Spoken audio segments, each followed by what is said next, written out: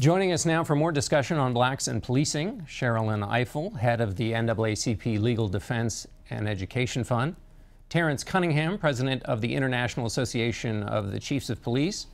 We also welcome Wesley Lowery of the Washington Post to the broadcast and thank him for coming in at the last minute when DeRay McKesson was arrested. And finally, our Justice and Homeland Security correspondent Jeff Pegues, who is not only covering the story for us, but is working on a book due out next year called Black and Blue Aggressive Policing, Racial Tension, and the Crisis in American Law Enforcement.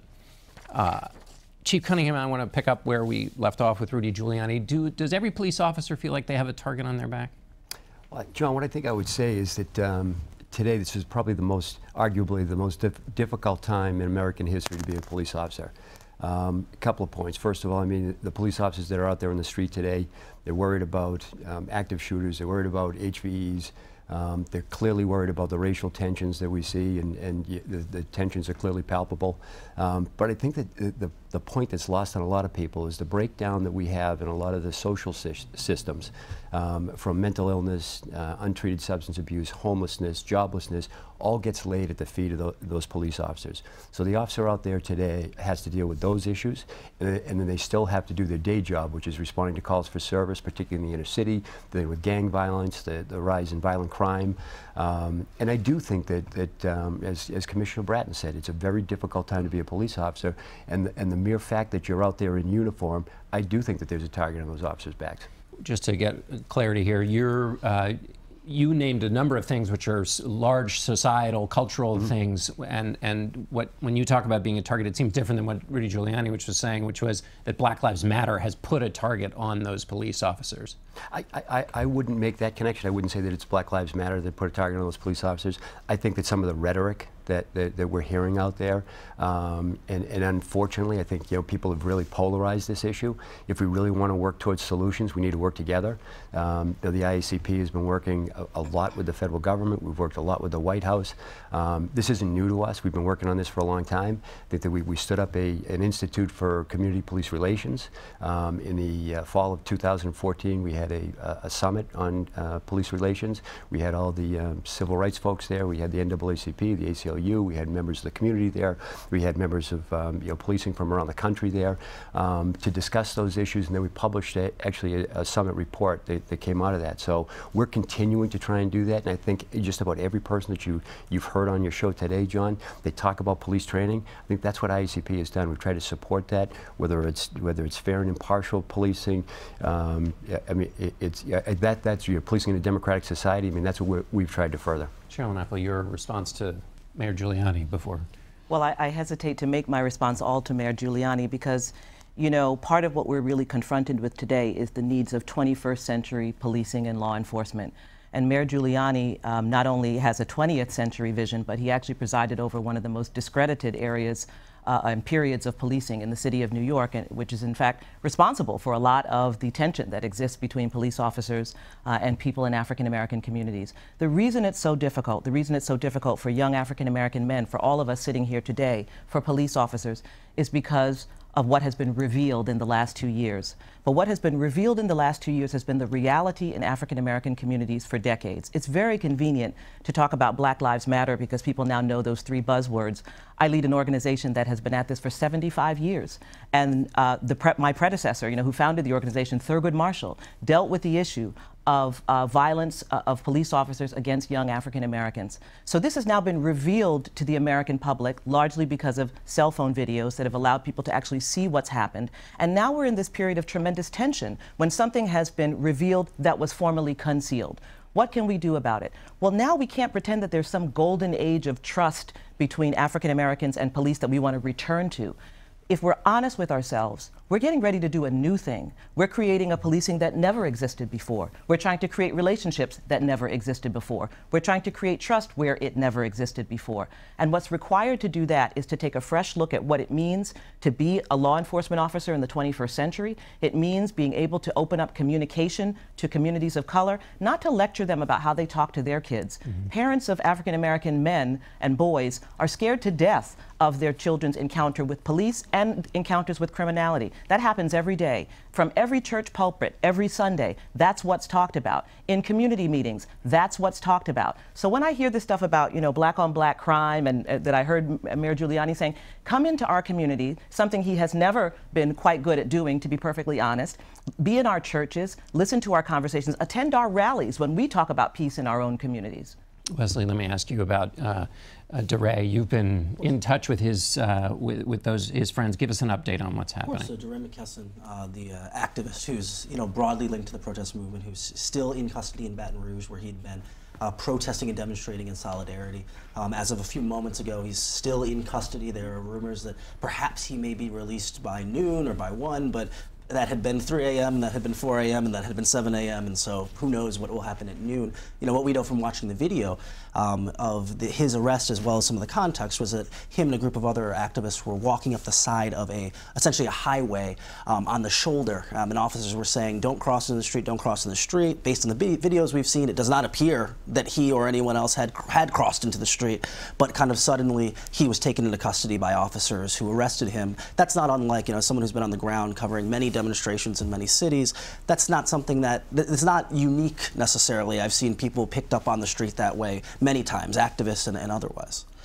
Um, Chief, let me ask you a question just about this. You're not here to defend the Baton Rouge sure. Police Department, of course, but give us a sense from your perspective how these things play out. Because one of the things in talking to activists and police is that they have to find a way to accommodate these kinds of protests. They seem to be doing that in Dallas before shots rang out. Is there a new model for how to handle these high tension moments uh, where you have a situation like what happened last night?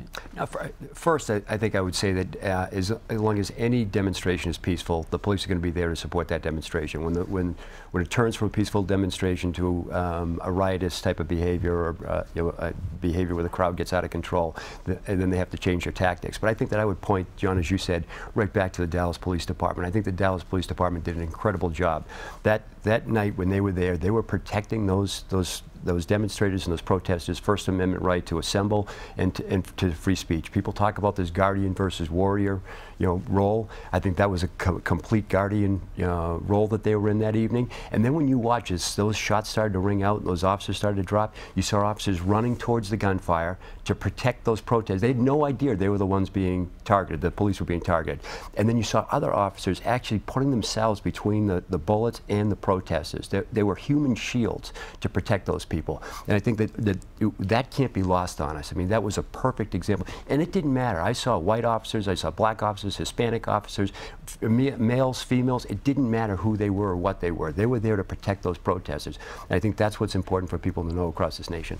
All right, we're going to pause right there. Jeff, I'm going to start with you when we come back about what solutions may be happening, who's doing it right, and how much more we have to do. But for the moment, we'll take a break. We'll be right back. And we're back with more of our panel. Jeff, I want to, you've been out in the street, you've been reporting this story over time.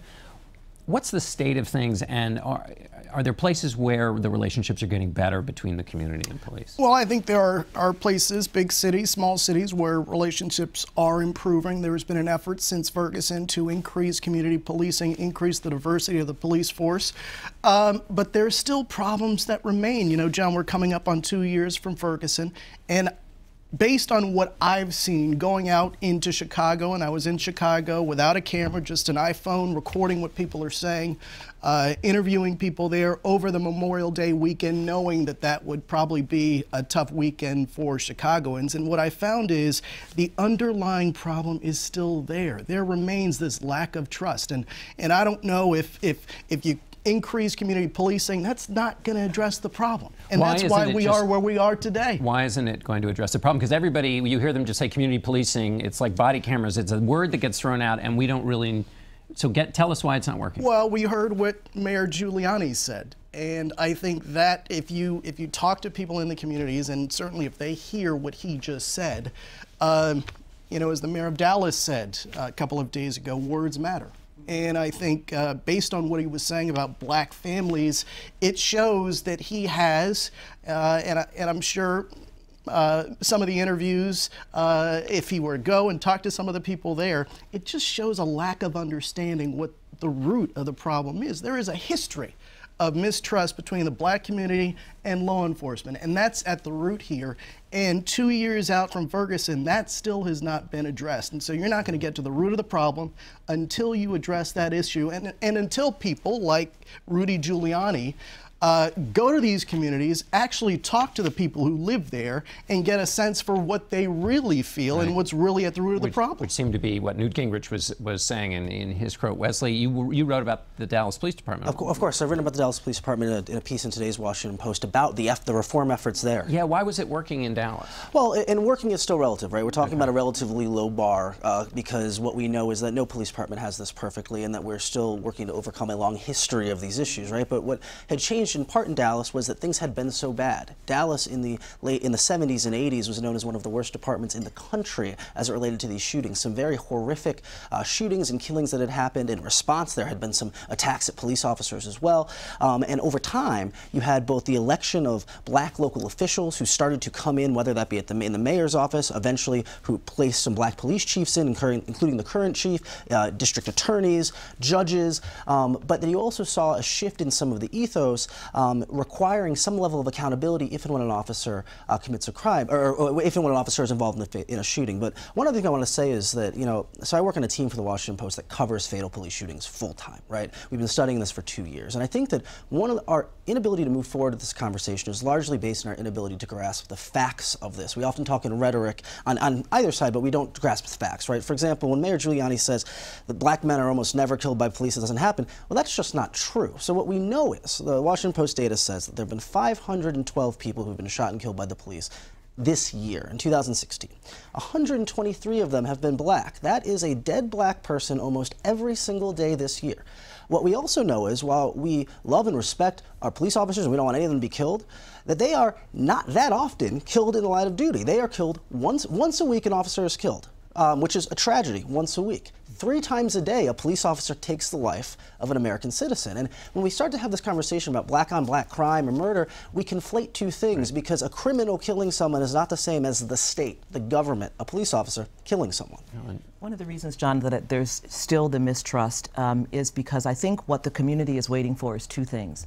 Number one, they understand that the rule of law applies to them. They break the law, they're going to be arrested. When there's that black on black crime, if they catch the so-called black on black crime and they catch the perpetrator, that perpetrator is going to be prosecuted and going to go to jail. What they want to know is that when a police officer takes a life uh, in a way that is unlawful, that that police officer will also face accountability and face the rule of law. And I think too often uh, what we have seen is, I mean, right now we're in Baltimore in the middle of these trials. Some somebody's responsible for breaking the spine and the voice box of Freddie Gray, who was in that van, and thus far no one has been held responsible. So one piece is accountability. The second piece is ownership of the problem. And ownership of the problem cannot simply fall on African Americans. It's interesting that, you know, we were listening to Mayor Rudy Giuliani because he's one of the people who no matter what police officer police officers did, um, always defended them. We see this with the spokespersons for police unions. Um, we need that when something goes wrong, we want to hear from police officers. We take responsibility for the fact that something went wrong, that one of our people did something wrong, so that we can come together and talk. In the same way, we're asked to take responsibility when people in our community uh, commit crimes. Chief Cunningham, the Burlington uh, police chief said one of the worries cops have is no cop can, can control what another cop does, but all cops will be judged by what the other cop does. Does this, uh, when we see what happened in Louisiana and in Minnesota. Talk a little bit about what that does to just normal old police work for, for cops who are just trying to do their job. So, so first I would ask that, that people not rush to judgment on those two incidents because we haven't seen the full investigation yet. And unfortunately, those videotapes that we see are just a snippet and, and, a, and a, snapshot in time. So I'd wait for the investigation to come out. Um, I do think that this is a very difficult uh, thing for the police to deal with. Um, I, I, would like to, John, just for one second, go back uh, and talk about uh, the collection of data in police shootings shootings, because I think that's really important. First of all, I think it's an embarrassment to our profession that, that we, we have to rely on the media to collect that data. Um, the IACP, with all of our partners and stakeholders, have been working with the FBI to come up to develop a platform so that we can capture that data. That is our data. We shouldn't be afraid of it. We should be able to look at it. We should be able to aggregate it, um, take a deep cut into it, and to see what it means, whether or not, or not we need to change our training, whether or not we need to, um, you know, adapt our technologies and our equipment, whatever it may be. But it's an embarrassment that we don't have that data ourselves to, to deal with. Um, and, and I do think that you know with, with, with these the shootings that we see out there, we need to hold our officers accountable. There's absolutely no question about it. And, and I, I- think that was Sheldon that just said, hey, you know, police administrators need to say, you know what, there, there are bad cops. I'm not, I'm not talking about Louisiana and, and Minnesota because I'm, I don't want to rush to judgment there yet, but there are bad cops, and police administrators need to hold those people accountable. All right, Chief Cunningham, thank you very much. We're going to have to leave it there. Thanks to all of you.